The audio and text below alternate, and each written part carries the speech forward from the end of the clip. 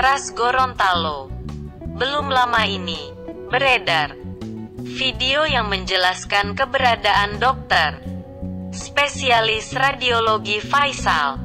Video yang menjelaskan keberadaan dokter spesialis radiologi Faisal tersebut diunggah oleh akun Facebook Sarjana Muda. Dalam tayangan video itu, nampak seseorang menyampaikan keberadaan dokter spesialis radiologi Faisal. La menjelaskan bahwa dokter spesialis radiologi Faisal terlihat berada di sebuah mobil. Guys, saat ini ada kabar yang sangat mengejutkan publik. Ada seorang pegawai di wilayah Toli-Toli yang melihat dokter Faisal ini berada di sebuah mobil berwarna hitam yang sedang berhenti di salah satu rumah makan. Rumah makan ini berada di kilo 4 di wilayah Sulawesi Tengan.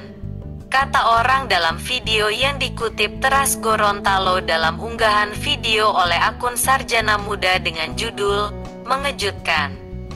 Ada yang sempat lihat Dr. Faisal di rumah makan yang diunggah Jumat tanggal 20 Mei tahun 2022 ini di Facebook.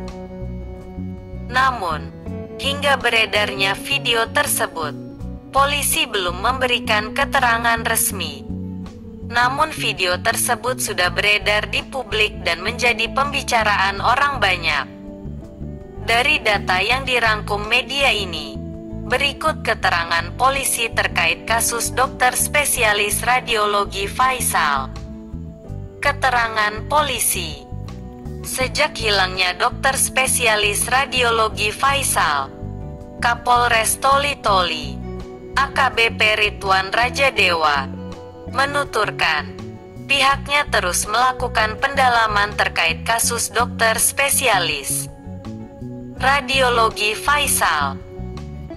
Kami sedang melakukan pencarian dan telah meminta keterangan sejumlah saksi yang sempat menghubungi dokter Faisal sebelum dinyatakan hilang.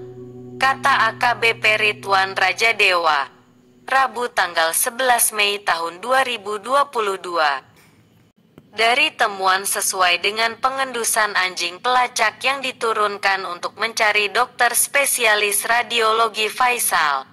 Ar